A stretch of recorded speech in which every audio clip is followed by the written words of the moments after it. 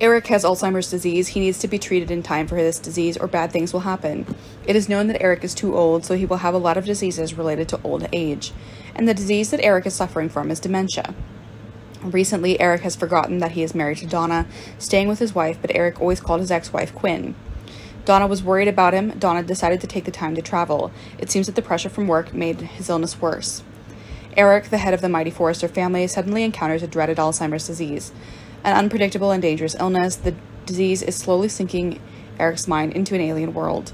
As the effects of the disease began to manifest, Eric began to lose precious memories of his life. For a man who has spent many years of his youth, memory loss is making his life full of anxiety.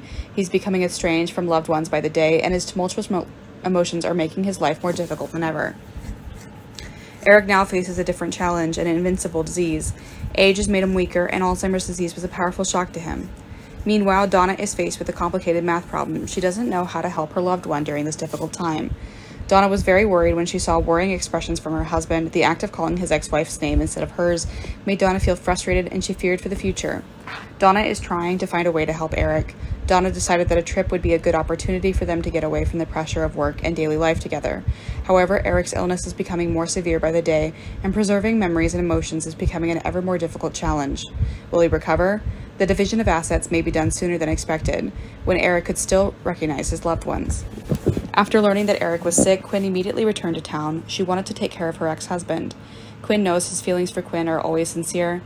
Eric can't forget Quinn even when he's sick, so this return may help Eric cure his illness. Hopefully, Quinn will be useful to Eric.